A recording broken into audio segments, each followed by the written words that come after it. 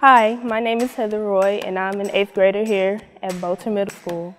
My interest is volleyball because like any other sport, you use communication and teamwork to be successful in that sport.